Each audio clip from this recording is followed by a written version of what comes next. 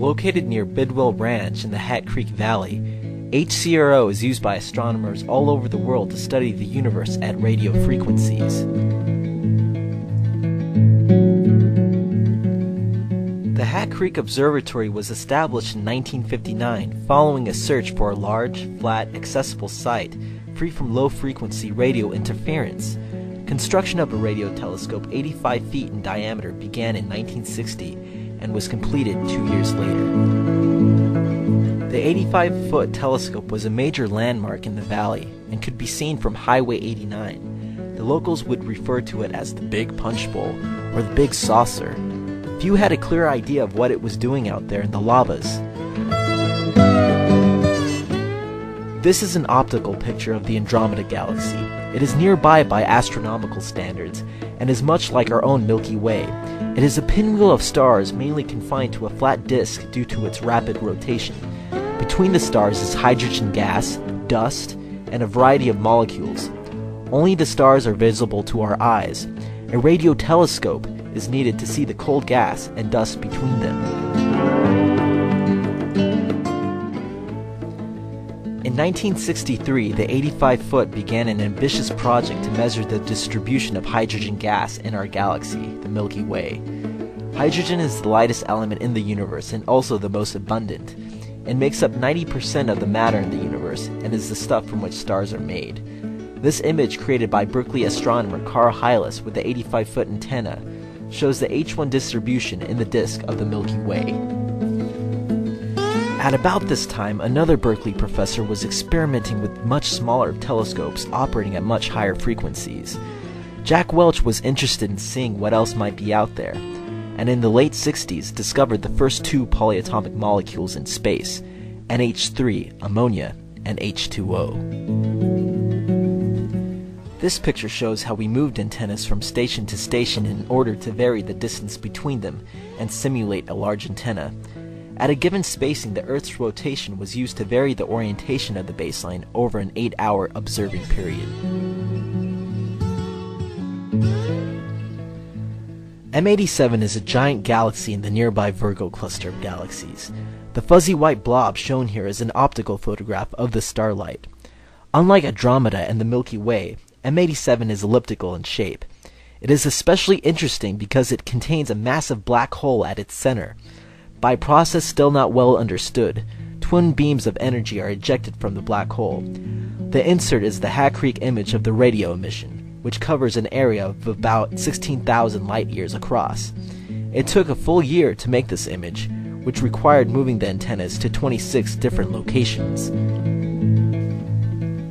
Radio emissions of some objects look much like their optical images, as in this radiogram of Saturn.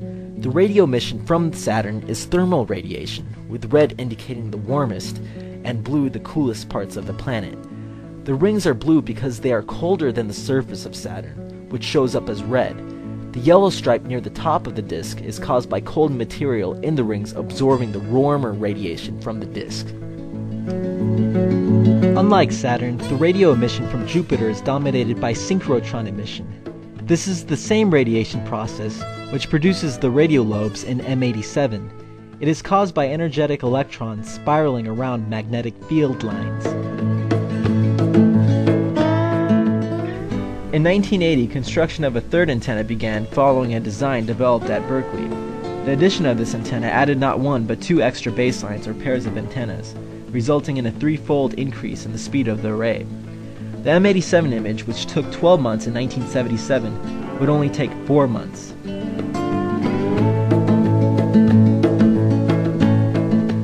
On September 2, 1987, the Lost Creek fire started by lightning in the lava south of the observatory. The fire spread through the valley and nearly engulfed the observatory. 23,000 acres of forest was lost in the lost fire. No serious damage to the telescopes or buildings at the observatory occurred thanks to the heroic efforts by the CDF, USFS, the Volunteer Fire Department, and the staff of HCRO.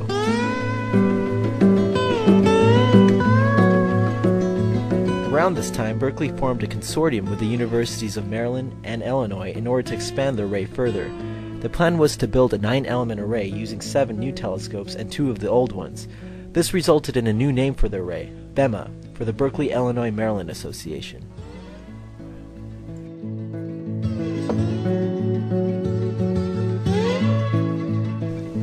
By January 1993, four of the new antennas were commissioned and the six element array began operation. The number of simultaneous baselines was now 15, a factor of 5 increase in the speed of the three element array. In the winter of 1993, a freak storm produced 100 mile per hour vertical winds in the meadow of the Hat Creek Observatory. The wind lifted the 85 foot antenna's surface out of its bearings and blew it off its mount. The 85 foot had survived over 30 years of continuous service, and its destruction was a great blow to Hat Creek Observatory and to the scientific community. It was decided that instead of rebuilding the 85 foot antenna, two more 20 foot antennas would be built. This allowed the oldest two antennas to retire and brought the number of antennas in the array to 10. The next development at the observatory was the installation of remote stations connected by fiber optics. This effort was led by Professor Lee Mundy at the University of Maryland. The addition of remote stations allowed the array to extend beyond the 1,000 by 600 foot size of the T. Fiber optics was needed because the distance from the antennas to the correlator became too great for efficient transmission on copper cable. This is a view from inside one of the 20 foot telescope receiver cabins. The receiver is located behind a hole in the middle of the dish where the radio waves are focused. This is called the secondary focus because radiation first bounces off the main 20 foot reflector and then off a second reflector to be redirected into the cabin. Here again is a picture of M87 with 45 simultaneous baselines the BIMA array was able to create this image in just one 8-hour integration period. Notice that the resolution is higher than our original picture of M87, which took over a year to make.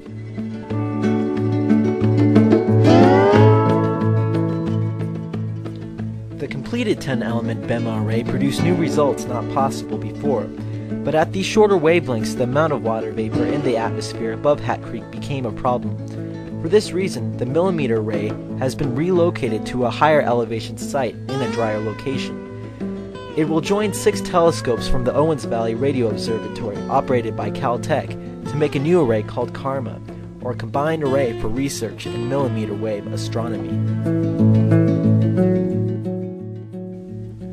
Presently, a revolutionary new telescope operating at lower frequency is being built at HCRO. The ATA, or Allen Telescope Array, will eventually include 350 new radio dishes. It is a joint project between UC Berkeley and the SETI Institute. The Allen Telescope Array is an array of antennas which can be simultaneously used for both SETI and cutting-edge radio astronomy research. Because it will have the ability to study many areas on the sky at once, with more channels, and for 24 hours a day, the Allen Telescope Array will permit an expansion of SETI's stellar reconnaissance to 100,000 or even 1 million nearby stars.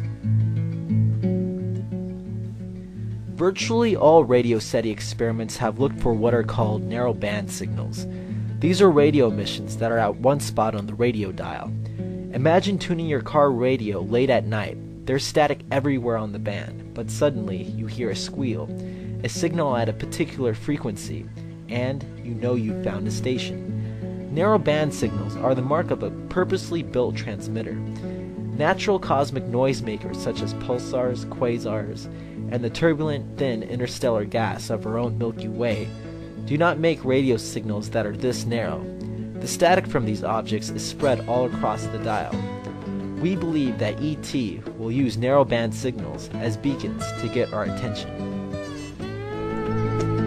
The move to CARMA and the construction of the ATA means a great deal of activity at HCRO. Visitors should pay attention to signs and stay on designated paths. Someone will now usually be available to answer questions and give a description of the facility. Thank you for visiting Hat Creek Observatory.